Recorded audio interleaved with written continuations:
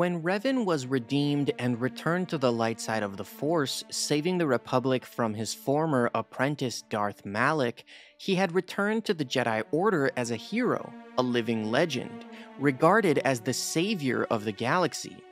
Yet his relationship with his fellow Jedi was very strained. Some younger Jedi considered him a hero, while the more conservative masters were unable to forgive him for his past transgressions. Some believed that he was still corrupted by the dark side, never to be fully redeemed for his actions as Darth Revan. Interestingly enough, after experiencing the dark side firsthand, Revan emerged more knowledgeable and powerful than ever before, possessing a greater understanding of the Force itself. His new beliefs and views caused him to clash with the Council, and these events are detailed in the Legends book Revan. After the loss of his memory and his redemption, the High Council had offered to find a suitable master to retrain Revan in the proper ways of the Jedi, an offer that he had flatly refused. Revan felt that he had learned too much about the Force, both the light side and the dark, to take instruction like some common Padawan. His contrariness might have been overlooked had he not married fellow Jedi Knight Bastila Shan. At one time, she had been the Order's bright young star, but Darth Malak had turned her to the dark side, and the Council believed that she also needed to be retrained. When she refused their offer just as Revan did, some members of the Council thought they saw a familiar pattern.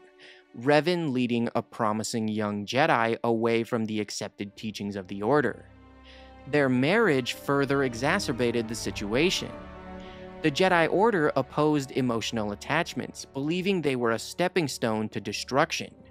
They taught that love begat jealousy, which led to the dark side. But Revan had seen love's redemptive powers firsthand. It was his love that had brought Bastila back to the light side, their emotional bond granting salvation for both of them. Revan felt that denying or attempting to utterly control emotion was a fool's game.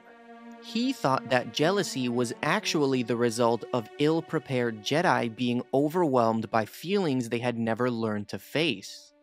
Revan believed that Jedi could be taught to use positive emotions like love and happiness to strengthen their connection to the Force, in the same way that hatred and anger gave power to those who followed the dark side. Revan had approached the Council with an offer to share his new understanding of the Force with the other members of the Order. He had expected some resistance, as he knew the Council was stuck in the old ways and didn't understand that the Force was alive. They couldn't accept that it had evolved beyond their teachings. Yet he had been unprepared for the sheer hostility of the Council's reaction. Not only did they reject his offer, but a handful of masters wanted to banish him from the Order. However, other members of the council knew that Revan was a hero, and that his legend was too valuable to throw away. In the end, a compromise was reached. The Jedi Order would not speak out against his marriage to Bastila, with both of them officially being recognized as Jedi in good standing.